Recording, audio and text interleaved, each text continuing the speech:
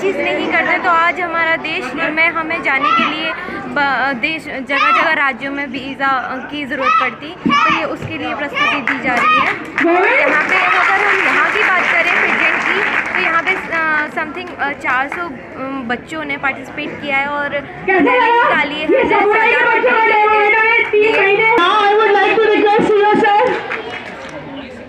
सभी लड़कियाँ मेरी बात ध्यान से सुने। सर यहाँ आए हैं। और सर, आप लोगों को कुछ मैसेज देना चाहते हैं? सभी बच्चे शांति से सुने। आपके प्रेरणा के लिए एक बात बता रहा हूँ। हमारे बीच में ऐसे शख्सियत हैं जो खेल से आप यहाँ सीओ की पोस्ट में हैं, आपके छाता में। खेल में भारत केसरी रहे हैं। अर्जुन अवार्डी और कितने बार विदेशों में अपना परचम लहराया है इन्होंने? हमारे पुलिस विभाग में आदरणीय हमारे भाई जगदीश काली रमन जी, मैं उनको आमंत्रित करूँगा और दो शब्द बोलने के लिए, बच्चों के लिए, प्रेरणा के लिए, भाई जगदीश काली रमन जी।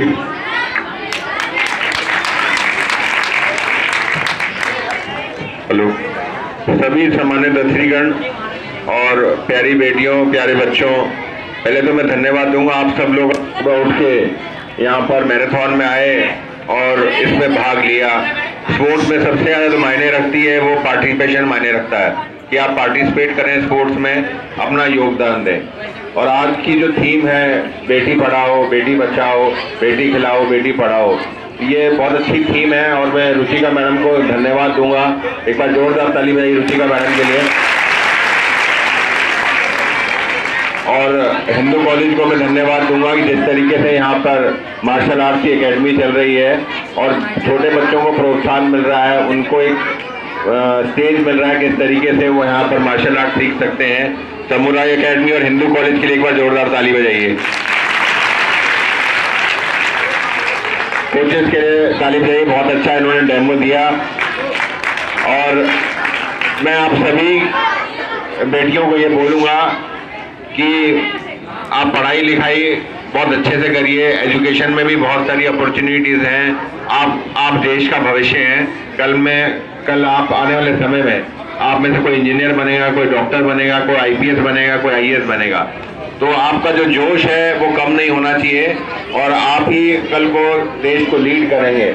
तो आप जिस भी फ़ील्ड में रहें, अपनी पहचान बनाएँ।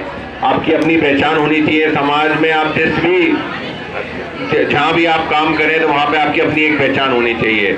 और आज ये जो मैराथन ऑर्गेनाइज करी गई थी, इसमें जितने भी स्कूल के टीचर्स हैं हिंदू कॉलेज का जो स्टाफ है, और आप सब बच्चों का सबका योगदान है। तो मैं कहूँगा, आप सब अपने लिए एक बार जोरदार ताली बजाएँ। और अब एक बात मैं सबसे पूछूँगा, यहाँ जितनी बेटियाँ आज मौजूद हैं, जितने छोटे बच्चे हैं कौन कौन स्पोर्ट्स में पार्टिसिपेट करता है? हाथ उठाओ।